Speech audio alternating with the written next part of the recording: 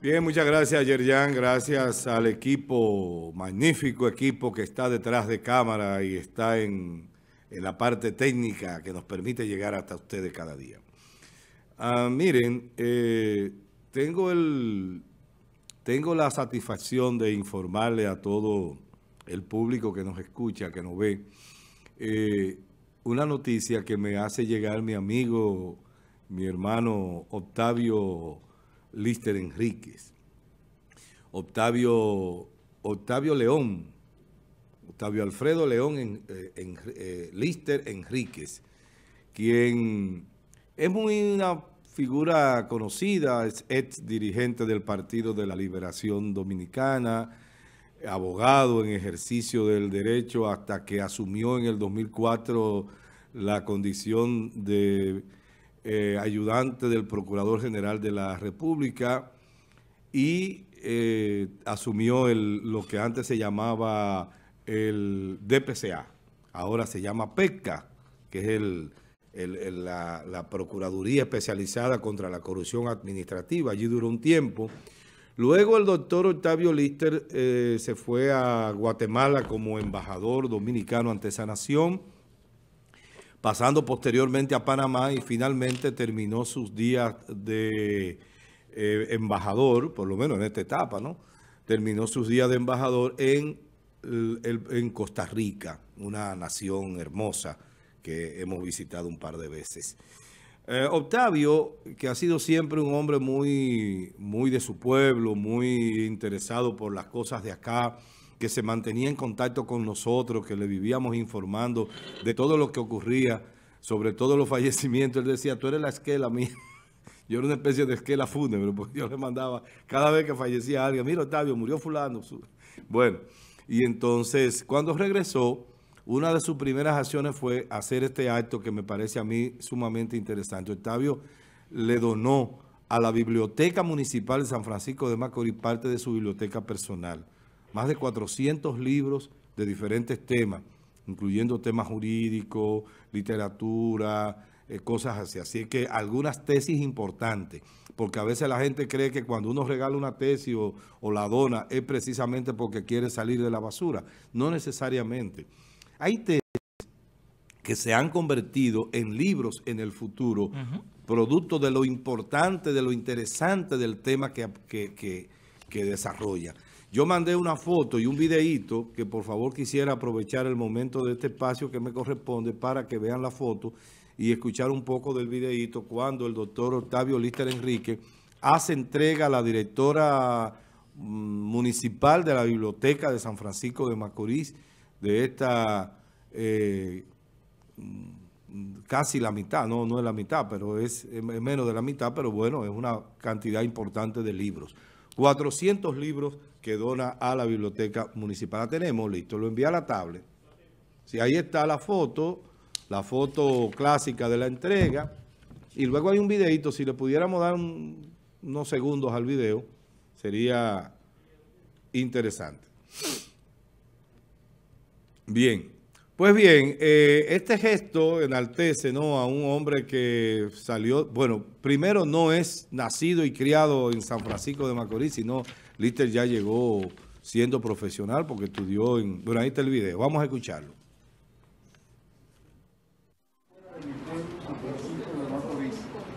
Cinco en la División De Persecución de la Justicia y 12 como diplomático en el servicio exterior.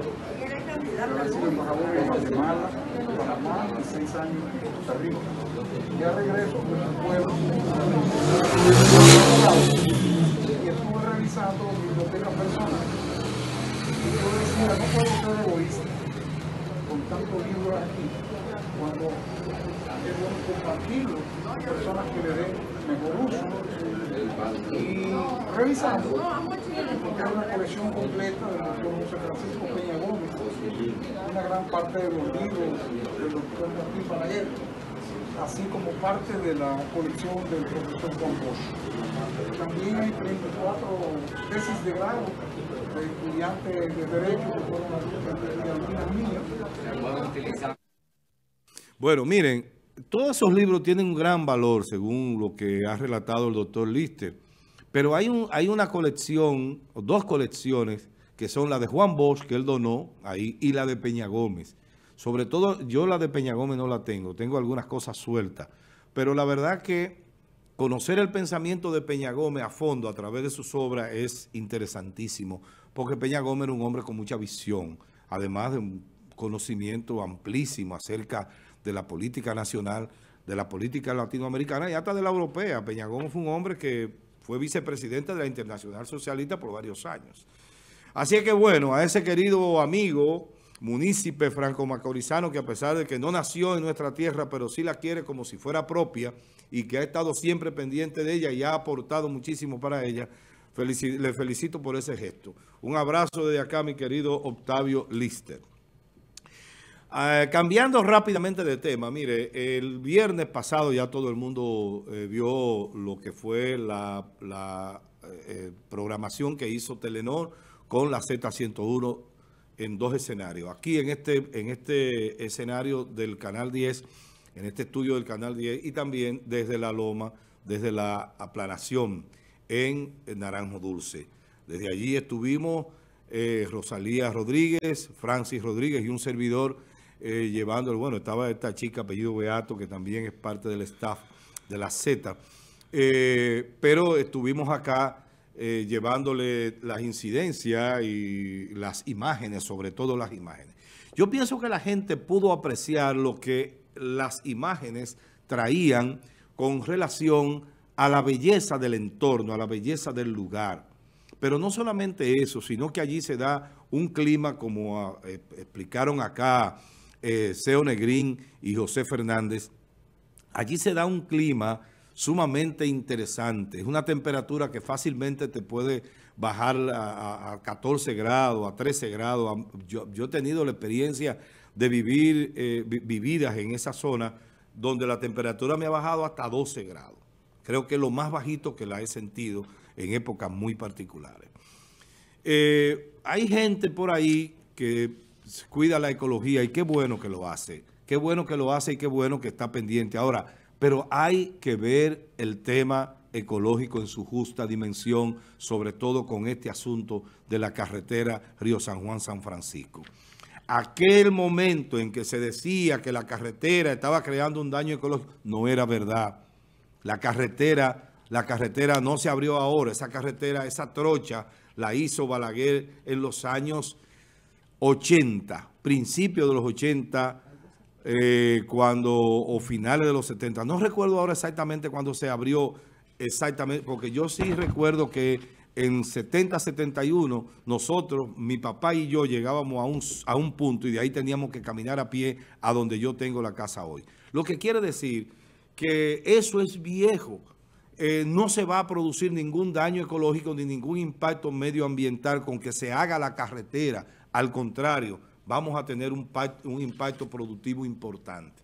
Ya más adelante estaremos haciendo, eh, pues, volviendo ¿no? sobre este comentario porque hay cosas que se me quedan producto del tiempo. Muy bien, vámonos entonces, señores, a los WhatsApp. Bien, miren, eh, Juan José La Antigua nos manda esta fotografía en el WhatsApp de una chichigua enorme.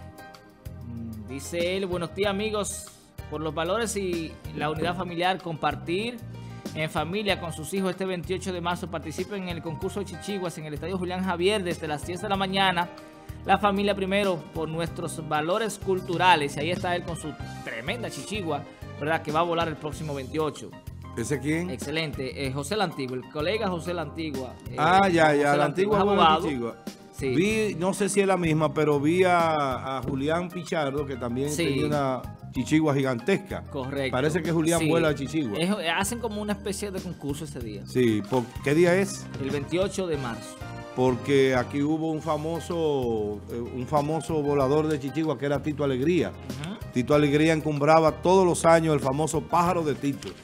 Y eso era un espectáculo. Uno iba al play de, al play que está aquí en la eh, cerca de tu casa, Eri, al Perdomo a ver a, el pájaro de Tito cuando se encontraba. Un espectáculo. Así es. Miren, en, con relación a, a ver, Pantaleón en Salcedo,